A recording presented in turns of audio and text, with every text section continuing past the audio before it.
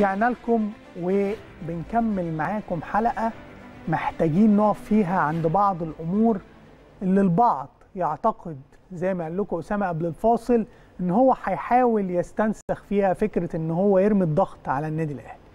ولكن ده مش هيحصل لسبب لأن أنت لما بتقول حاجة بتتناسى مش بتنسى إن الأهلي خط أحمر أو إعلام النادي الأهلي عنده الردود اللي مش بس هتوضح إزاي أنت غلط لأ هتوضح كمان إن منطقك فيه كتير جدا من العوار لأن اللي بيته من إزاز ما ينفعش حد في الناس بالطوب. صح ولا لأ يا صح أسامة؟ بس ده المثل ده قديم قوي آه طبعا. وما أكثر الزجاج يعني. بالتأكيد وزي ما إحنا قلنا يا فارس إحنا هنا هنتعامل مع مقتضيات المرحلة هنتعامل مع المباراة. البعض حاول يعني يعمل فتيل فتنة بين جماهير النادي الأهلي وكابتن النادي الأهلي الكابتن محمد الشناوي وضرب أمثلة فيها ردود كتيرة فاتت إحنا عندنا كمان قبلها فيما يخص الحضور الجماهيري. دي النقطة الأولى اللي البعض استغلها عن فكرة الجمهور وحضور الجمهور.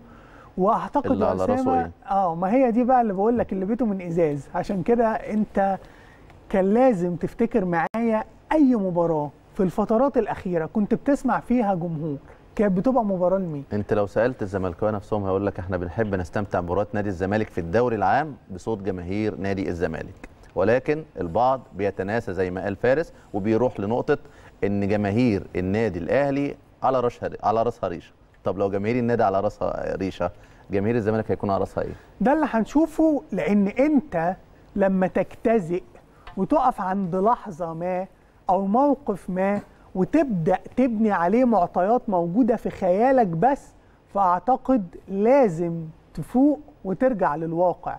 خصوصا لما تحاول تستغل موقف أو تستغل مشهد عشان تبني كتير جدا من المغالطات اللي ما فيهاش ولا كلمة صح تقريبا وتشوف بعين واحدة بس. وصدقني مشكلتك إنك طول الوقت بتشوف بعين واحدة.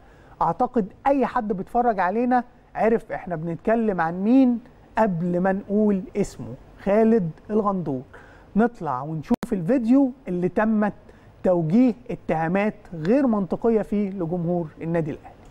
لأن النقطة دي كمان مليانة حاجات شائكة مليانة ناس بتخش بأسامي ال- الملاعب بتبقى بعض منهم مدعو للدخول البعض منهم والكثير منهم شتامين.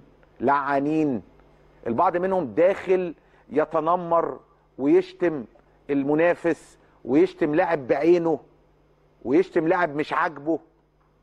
فربنا بيعاقبه في النهاية. يعني فكرة إن أنت داخل مش عشان كمان أنت ممنوع أنت كجمهور ممنوع تخش. طب بنعمل لك كمان حاجة كده في الخباثة و... و... و... وأنت على رأسك ريشة ف... فبتخش. تمام؟ والنادي صاحب الأرض بيدخلك.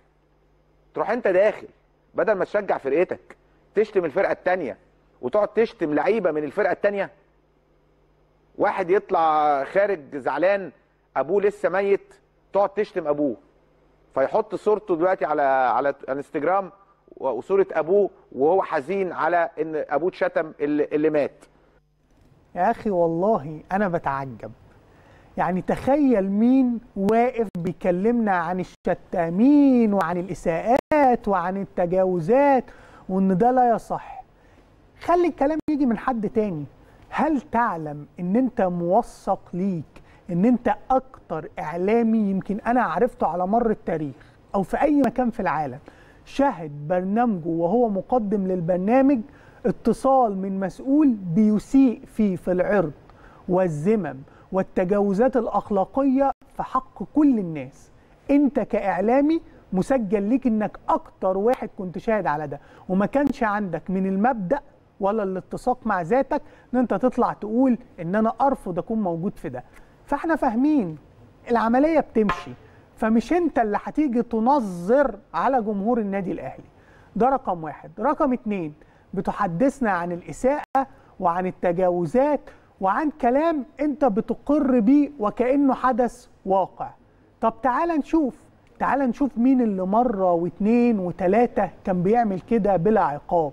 مين اللي ده اسلوبه وده مفهومه. لا قبل الصورة فارس في نقطة مهمة جدا. دي صورة طبعا الكابتن عماد النحاس في مباراة المقاولين العرب. دي كانت في رمضان وجماهير نادي الزمالك كانت بالتوكيل للكابتن عماد النحاس السباب. فرد عليهم جماهيري؟ الراجل قال لهم رد عليهم الراجل قال لهم رمضان كريم. الصورة اللي بعدها كانت للكابتن حلمي طولان أحد أبناء نادي الزمالك المحترمين واللي بيلقى قبول واحترام لدى جماهير النادي الأهلي. كانت جماهير نادي الزمالك بتوجه ليه السباب.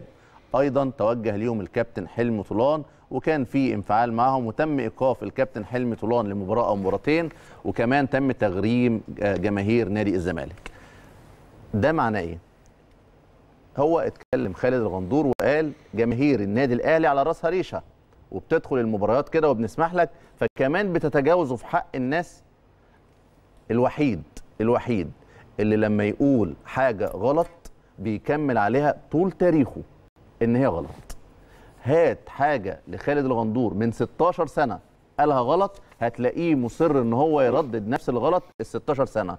موضوع إن شيكابالا والنادي الأهلي ما لعبش مباراة السلة لغاية لما يطلع شيكابالا خارج الملعب. اكذوبه وطلعنا ردينا هنا. ورئيس اتحاد السلة رد وكل الناس ردت ولكن خالد الغندور سيصر إن هو يستكمل إن مباراة السلة تم إلغائها مش عشان ساعة ونص جماهير أو منظم مباراه بيحاول يخرج جماهير الزمالك من الملعب مش عشان شيكابالا لما وقف في الممر مع جماهير نادي الزمالك كانت الإساءات واصلة داخل الصالة مش عشان كل ده. عشان النادي الأهلي ما كان أو كان رافض إن شيكابالا يكون موجود في المدرج. ده النادي الأهلي بيتفائل بشيكابالا في ملعب كرة القدم. هيتشائم أو هيزعل إن شيكابالا موجود في مدرج كرة السلة. ده أيقونة الحظ عند النادي الأهلي وجود شيكابالا. ولكن هيفضل يردد نفس الأكذوبة. فاكرين مباراة السلة عشان شيكابالا. النقطة الثانية لما جماهير النادي الأهلي بتدخل وبتشتم أنت بتجيب الشتيمة منين؟ أنت بتجيب لما بشوف فيديو على اليوتيوب ولا بشوف فيديو موجود على أي حاجة. وطلعنا قلنا يا جماعة نتحدى مين عمل تنمر مع شيكابالا من جماهير النادي الأهلي؟ اعرضوه إحنا موافقين. مفيش. لكن هيصر إن كان في تنمر ضد شيكابالا. إمتى؟ لمدار على مدار المستقبل جاي كله. من اول ما قالها لغاية ما ينهيها. النقطة الأهم بيقول جماهير النادي الأهلي بتشتم ومجلس الإدارة هو اللي بيدخل جماهير النادي الأهلي فالمفترض مجلس الإدارة يمنع جماهير النادي الأهلي. تمام. إحنا هنا بنرفض الشتيمة أصلا لو هي موجودة وبنرفض أي خروج عن النص وده مبدأنا أساسا. حتى مبدأ البرنامج نفسه تناول بلا تطاول. لكن الجماهير دي ما اتمنعتش ليه؟ اللي شتمت عماد النحاس إنها تدخل تاني وتشتم الكابتن حلمي طولان. فلو أنت شايف إن جماهير النادي الأهلي على راسها ريشه بالفعل على راسها ريشه في البطولات في الإنجازات في اسم النادي الأهلي. أنت بقى شايف بعد ما عرضنا لك صور لجماهير نادي الزمالك مع حلمي طولان وعماد النحاس على راسها إيه؟ هو ده السؤال اللي انت محتاج تجاوب عليه.